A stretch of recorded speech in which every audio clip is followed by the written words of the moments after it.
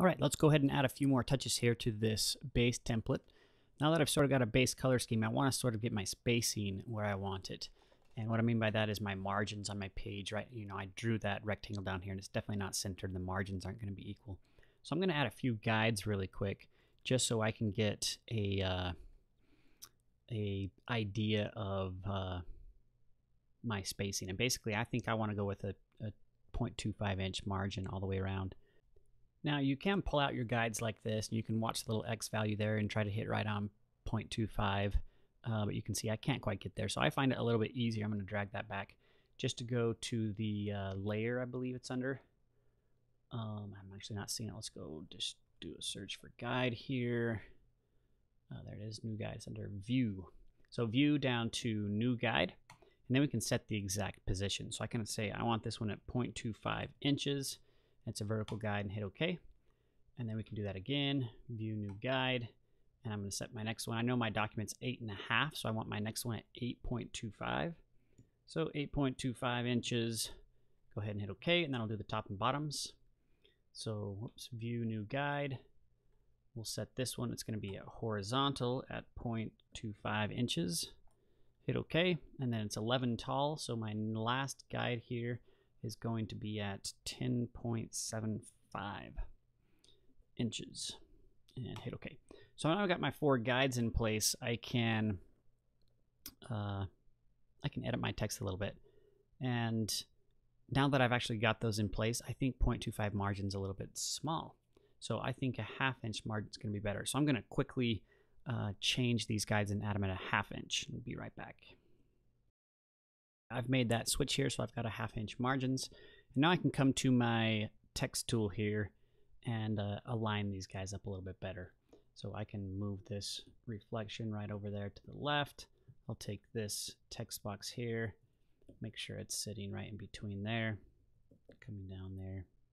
Anyway, so now I can align those up a little bit. And then we'll just do two quick things here just to make this a little more interesting. So I'm just going to grab my shape tool here. I'm going to zoom in a little bit on this area and I'll create a new layer here. And I'm going to create two boxes here. One box is going to be a, I'm going to set this stroke color here, whoops, set my fill color here to this same, if I can get my fill color open up, there we go. And now let's go ahead and create that box. So I'm going to drag one of these clear over like so. It's going to be pretty little. And then I'm going to zoom in a little bit more. And I'm going to drag another box right below this. Now, this may or may not work. I'm just sort of experimenting, playing around here a little bit. And we'll set this other color. I want to use this other third color is, is why I'm doing this. So I'll set up this sort of bright orange. And I'll draw one more box underneath this, just the same size as the word reflection. And uh, set that color there. So just trying to integrate that a little bit into the design.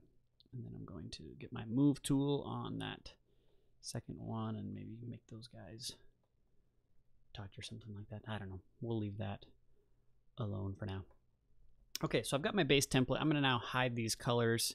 And I'm going to take all these layers that make up my base template and I'll grab them all, group them, and I'm just going to simply call this thing template. And again, you guys can uh, play around. Don't follow exactly what I'm doing. I'm just sort of giving you a quick sample here. But, you know, design your own little base template and colors and whatnot and graphics however you would like. And uh, if you want to, I didn't set this up, but in your templates layer, you could set up your paragraph styles as actual um, paragraph styles. So Photoshop does support character and paragraph styles.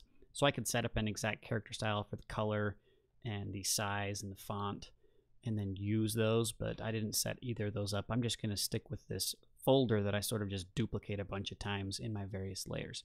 So now I've got my base template set up, we're going to go ahead and create our various pages in the next video.